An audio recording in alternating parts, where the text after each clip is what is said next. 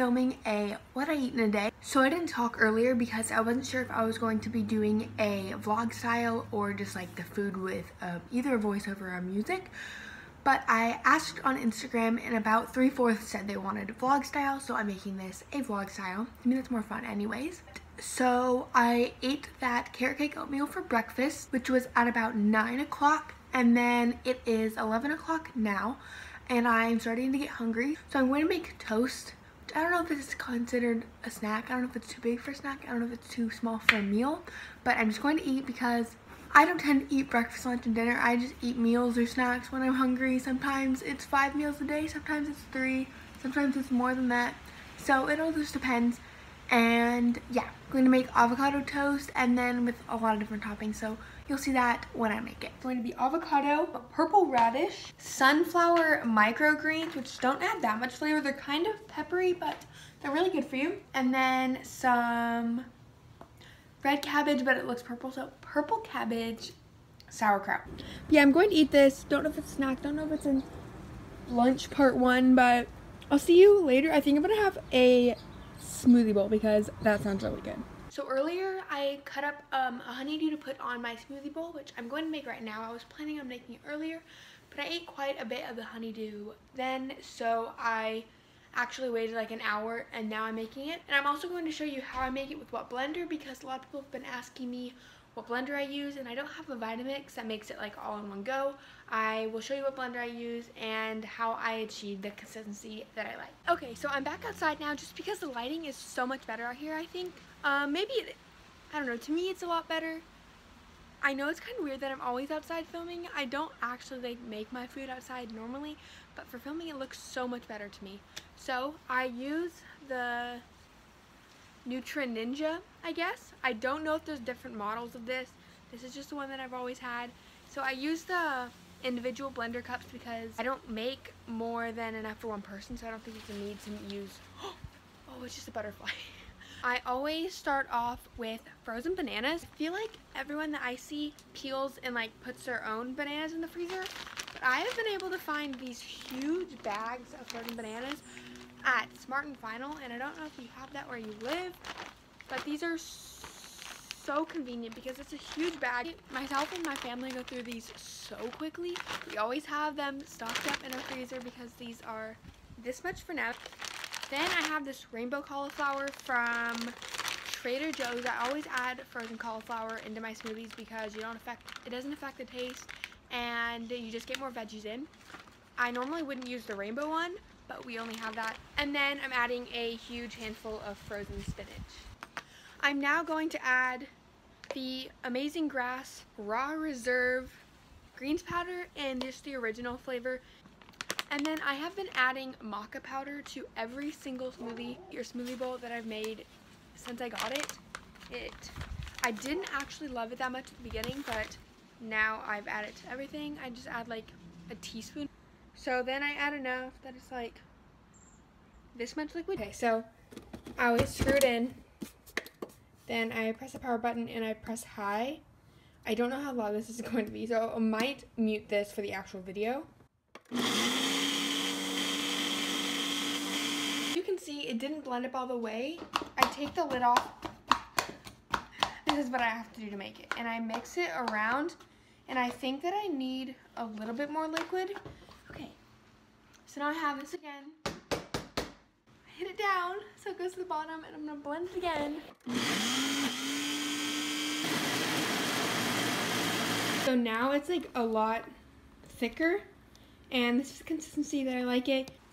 Okay, so I always take the bowl and I put the banana ice cream into it and then I stick it in the freezer while I'm getting the toppings ready because if I don't, it'll definitely melt. Whenever I put them in a bowl, I always make sure that it goes to the top because if not, I feel like it makes a shadow in the bowl and it makes it a lot less like appealing in pictures. And of, I mean, if you, these coconut bowls especially, other bowls definitely are bigger, but these coconut bowls are so small that if you don't fill it up all the way up to the top, I don't get how you can get full on that because it's like hardly anything to me. I need it to be full in order for me to feel full. If not, it's a really small portion. Okay, so I'm gonna go put this in the freezer and then I'll show you what I put for toppings. I wanna make it like a green smoothie bowl with topped with only green things. So I used a melon baller and I shaped the melon into spheres and did that with like different sizes. And then I also put it into like little cubes. I don't know how I'm going to do it yet, but that's definitely going to go on the smoothie bowl. Then I'm going to put on some of this yogurt, but I'm going to put on some desiccated coconut on top. This dairy-free green tea mochi that I got from Trader Joe's. I always have super good like outcomes of what my food is going to look like in the end and it never turns out that way. It's always so much worse than expected, but it's probably gonna happen again today. I should start off with emoji, then like build around that because it's a big thing. Or do I like cut it in half? That's pretty, oh wow, what's going on? Okay. Then maybe I'll put these around it. Oh, that's gonna mess it up, it's gonna mess it up. I hate doing these because once I put something on it I don't like, it messes it all up. This is hard. What do I do? Hmm, I'll take the risk. Oh no. Oh, that's bad, that's bad, no. Is it? Am I done? Is this good enough? Oh, pumpkin seeds are green! See, this is me actually like making my smoothie bowls. Um, it's really hard because I try to do it fast before they melt. no! Doesn't belong there. Now I'm going to show you like my ooh, photo setup. I'm going to put this in the freezer just for a couple minutes. This is the aftermath, making my smoothie bowls. I have stuff all over the ground too. Okay, so I need to clean this up really quickly and then I'm going to run outside and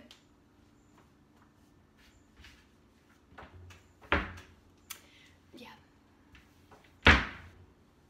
And take the picture before it melts. Um, I'll show you like actually my photo setup and what I use. Nothing professional at all. Um, and I'm gonna show you my camera because a lot of people recently have been asking me what camera I use, so I'm gonna show you that too. Um, and I have to find a place to film, not film, take pictures. So right now, if I put this down, I won't do this because there is a shadow. Oh yeah, and by the way, it looks like in my pictures that I have like um, a white countertop, but in reality, it's just like a tile that I got from Lowe's for like $3. And I accidentally dropped it and I chipped, I don't know if you can see, I chipped all the corners of it because it was on a chair and I forgot that it was there and I picked up the chair and it completely fell and crashed. But it still works, so, okay. Ah, the lighting is bad everywhere.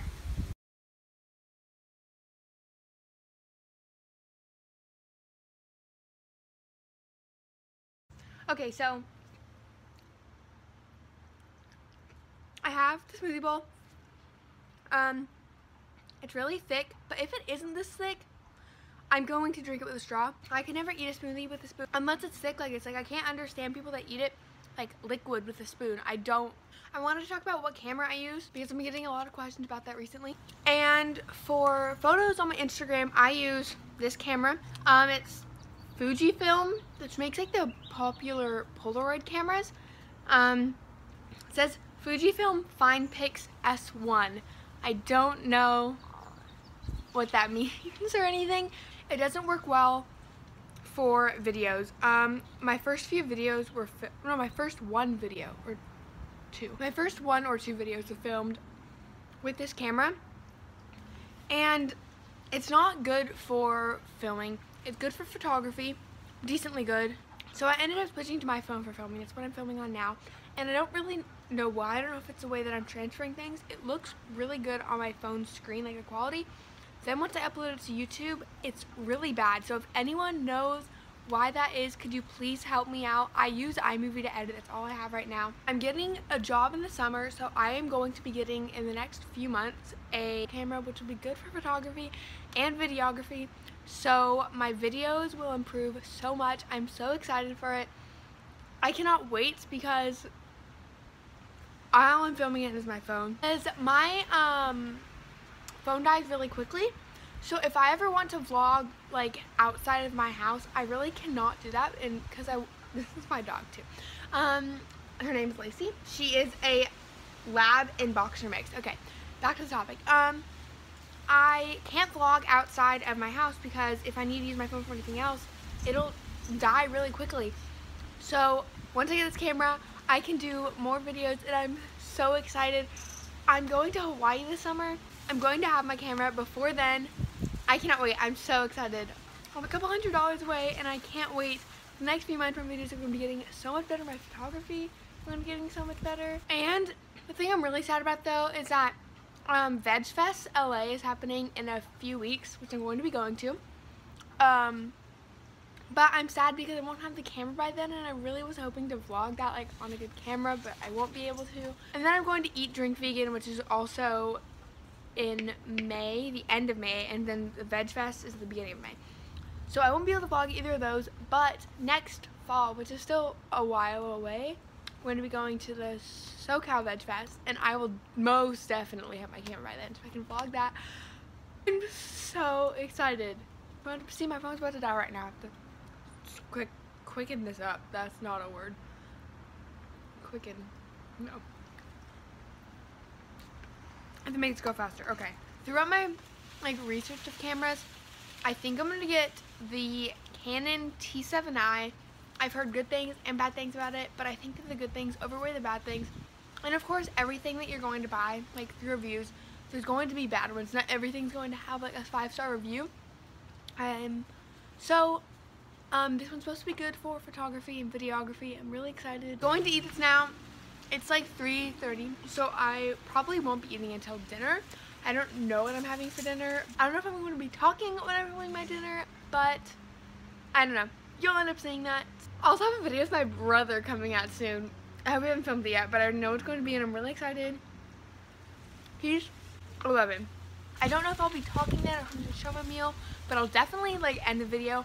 But the thing is, I don't think, same film with my phone, I don't think I can film at night because the quality is so bad at night. That's why I can't, it's so bad in the dark. That's why I cannot wait to get a really good camera because then I can end it whenever I want and it'll work. I mean, obviously I have my lights on in my house at night, but like, still, it's not, my phone works best in natural lighting, not artificial lighting. Okay, I'm gonna stop talking. I'll see you at dinner. The thing is that different videos which I really want to film, but I'm waiting until um, my camera's good. And I know that might sound weird, but I really want them to be good videos because I'm excited to film them. And one of those is like a lot of people ask me how to go vegan in a non-vegan household as like a kid or a teenager, so I'm going to film that. And then also my vegan story. I'm excited to film that too, but I need to wait until I don't need to wait. I want to wait until I have a good camera. So I just got out of the shower. I haven't brushed my hair yet or anything, so if it looks weird, that's why. I just wanted to end this video and say thank you so much for watching if you watched all the way to the end. I know I talked a lot more than normal in this video. If you did like it, please give it a thumbs up and subscribe for more videos like this because as you know, I'm getting a good camera soon, so my videos will get even better. So yeah, thank you for watching again. If you stayed to the end, thank you, and I'll see you in my next video.